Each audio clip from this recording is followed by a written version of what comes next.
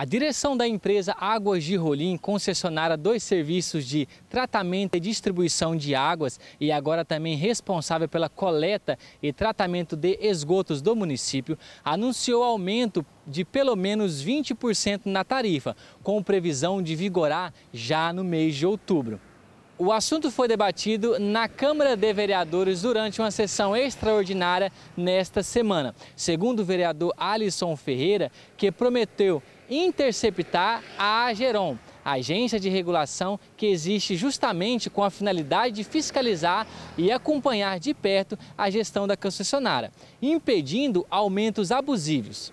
Nenhum aumento pode vir para a classe trabalhadora, nem para quem é aposentado é, nem para um segmento da sociedade sem que nosso poder aquisitivo seja compatível, que ele esteja de acordo com a, a, a mesma disparidade que há é, no, no, no, no, ganho tem que haver na, no, no gasto, entendeu? E outra, tem que ser, mais ainda, tem que ser em cima da lei, tem que saber lá se, se é, foi é, fundamentada no GPM, né? Se foi fundamentada na taxa Selic, entendeu?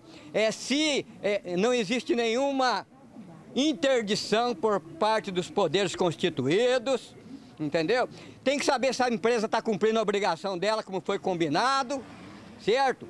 Né? E a prefeitura também tem o, o, o, a obrigação de ser órgão fiscalizador que eles usem todos esses critérios e não coloquem os 20% antes de fazer um plebiscito, uma, uma consulta para a população. Porque senão a população não tem condição de pagar, daí começa a revolta, as irregularidades, é, é, a, a, aquilo, os desmandos, entendeu? E nós já estamos cansados disso. Em nota, a equipe de reportagem do Rolim Notícias, a Águas de Rolim informa que o reajuste tarifário para Rolim de Moura sobre os serviços de água e esgoto está sendo reavaliado e ainda não entrou em vigor. A concessionária explica que segue finalizando as tratativas referentes ao reajuste tarifário dos serviços de abastecimento de água com a Agência Municipal de Regulação e com a Prefeitura.